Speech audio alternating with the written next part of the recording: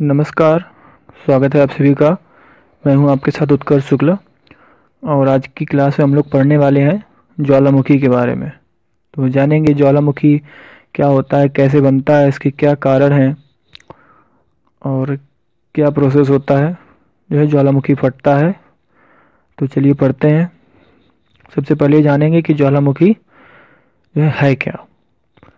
तो ज्वालामुखी ज़मीन पर मौजूद वह प्राकृतिक मुख या दरार है, जिससे पृथ्वी के गर्भ में मौजूद लावा, गैसें या राख निकलती है। ज़मीन के नीचे ताप इतना ज़्यादा होता है कि चट्टाने भी पिघल जाती हैं।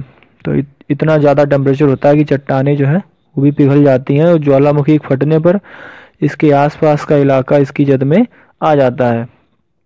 ज्वालामुखी में अत्यधिक ऊर्जा समाहित होती है सक्रिय होने पर लावा अधिक गर्मी के रूप में इसके मुख से बाहर निकलता है, जिससे बहुत तबाही भी होती है और इससे जान माल की बहुत क्षति होती है, बहुत नुकसान होता है, जन का भी और धन का भी।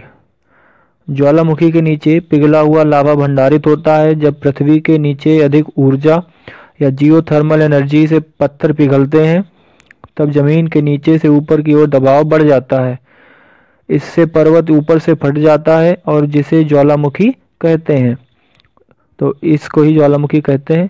दूसरे दूसरे शब्दों में अगर कहा जाए तो पृथ्वी के भूपटल में स्थित वह स्थान ज्वालामुखी कहलाता है, जहाँ से पृथ्वी के आंतरिक भाग से गर्म पिघली चट्टाने यानी लावा, राख, पत्थर, गैस आदि यह एक या अधिक सुराखों के द्वारा पहाड़ के ऊपरी सिरे से बाहर निकलते हैं। तो ये जो है परिभाषा के रूप में हो गया और ऊपर सरल शब्दों में हो गया। अब किन कारणों से जो है ज्वालामुखी बनता है? तो उसके दो कारण है प्रमुख। तो ज्वालामुखी दो कारणों से बन सकता है। पहला है पृथ्वी की प्लेटों के एक दूसरे की तरफ़ आने से भी ज्वालामुखी बन सकता है। इसको इसको पास आने पर कन्वर्जिंग प्लेट्स कहा जाता है तथा ये ज्वालामुखी सक्रिय होते हैं तथा काफ़ी तबाही मचाते हैं। पृथ्वी की और दूसरा है जो पृथ्वी की प्लेट्स के एक दूसरे से दूर जाने पर।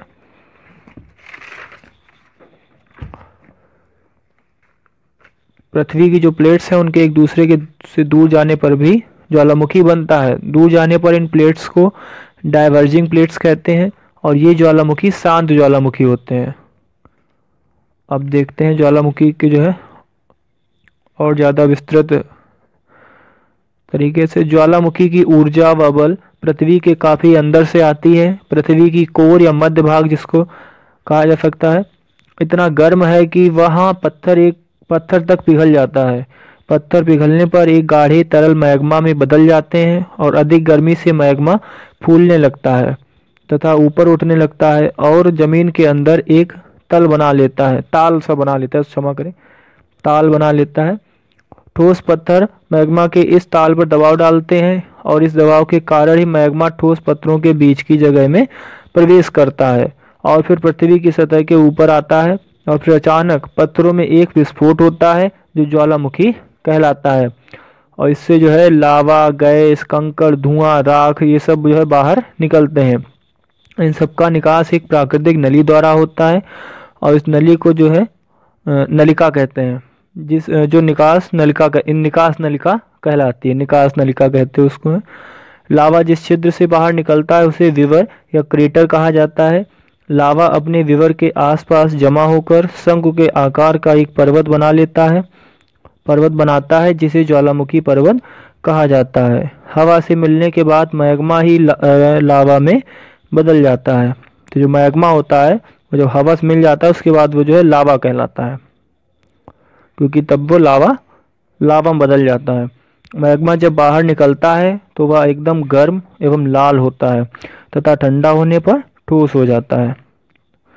ज्वालामुखी फटने के कई और कारण हैं, जैसे कि पहला है वो अन्य में जो है ये कारण है, भूगर्भ में अत्यधिक ताप का होना क्योंकि बहुत गर्मी होती है ना नीचे, जब धरती के अंदर जो है, भूगर्भ में अत्यधिक ताप का होना, कमज़ोर भूभाग का होना और गैसों की उपस्थिति व भूकंप आदि।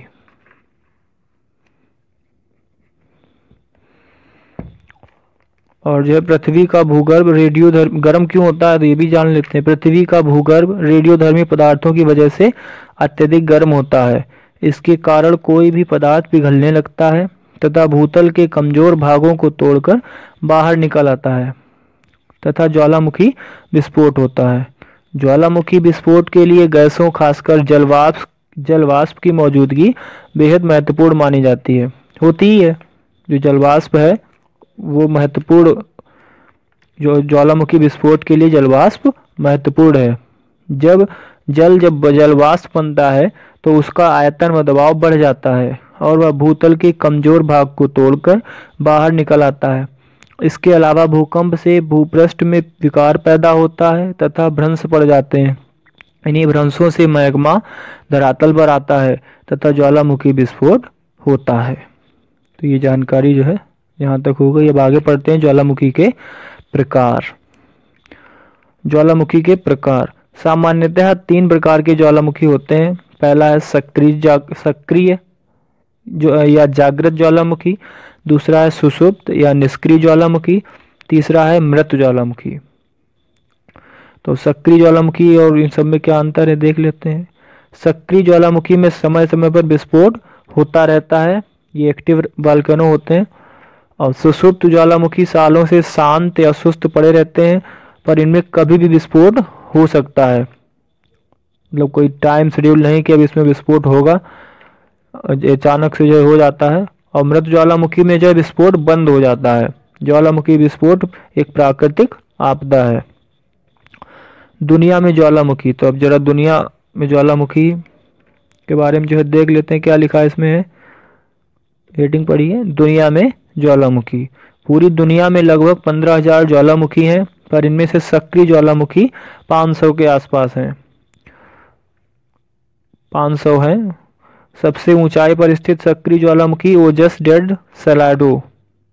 ओजस डेड सैलाडो है, जिसकी ऊंचाई छः हज़ार आठ सौ पचासी मीटर है। और यह है कहाँ? ये भी देख लेते हैं।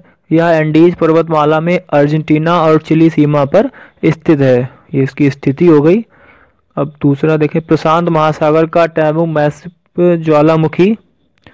दुनिया का सबसे बड़ा ज्वालामुखी माना जाता है और यह लाखों सालों से शांत है और महासागर के अंदर है।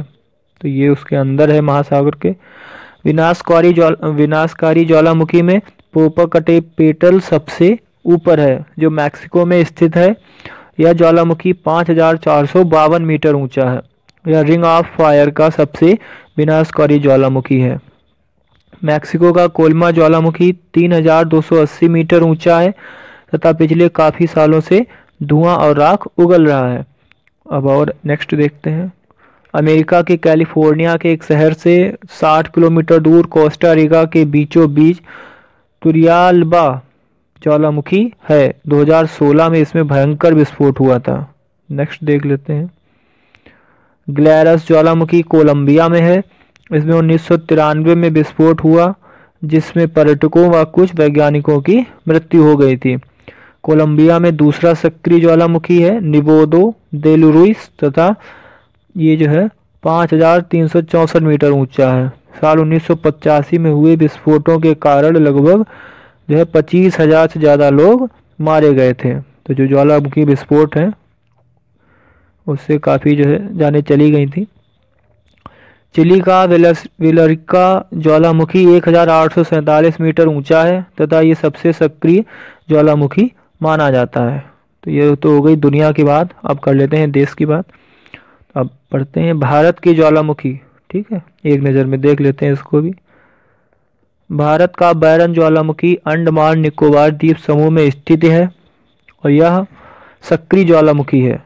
पहले इसे मृत माना जाता था, लेकिन 180 साल शांत रहने के बाद इसमें उन्नीस सौ इक्यानवे, उन्नीस सौ चौरानवे, उन्नीस सौ पचानवे तथा 2005 में विस्फोट हुआ था। इससे 2006 तक लगातार लावा निकलता रहा। नेक्स्ट अब टॉपिक नेक्स्ट पॉइंट पढ़ते हैं।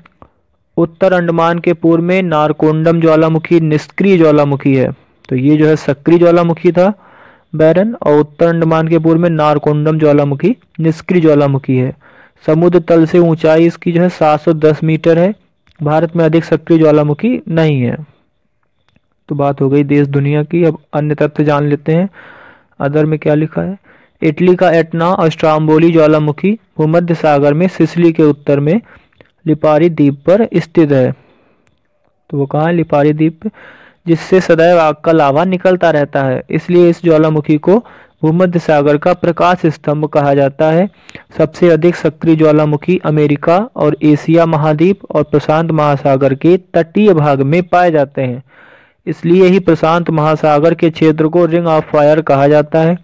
प्रशांत महासागर के चारों तरफ़ विस्तृत ज्वालामुखी व भूकंपीय श्रृंखला है, जहाँ लगभग 450 ज्वालामुखी हैं, जो दुनिया के 75 प्रतिशत हैं। अब तक सबसे विनाशकारी ज्वालामुखी यहीं फटे हैं। तो आप देख सकते हैं पचहत्तर परसेंट ज्वालामुखी तो यहीं पे स्थित है। तो ये जो जानकारी, ये थी जानकारी ज्वालामुखी के बारे में तो मैंने आपको आज की क्लास में बताया। ज्वालामुखी के प्रकार कैसे फटता है, क्या कारण है? और धरती के अंदर क्या प्रक्रिया चलती रहती है कि ज्वालामुखी फटता है? और जो है अन्य जानकारी मैंने आपको देश दुनिया की ज्वालामुखी के संबंध में उपलब्ध कराई। आशा करता हूँ आज की क्लास आप सबको शायद पसंद आई होगी। तो अपना व अपनों का ख्याल रखें और मुझे दीजिए इजाज़त। तब तक के लिए नमस्कार, धन्यवाद।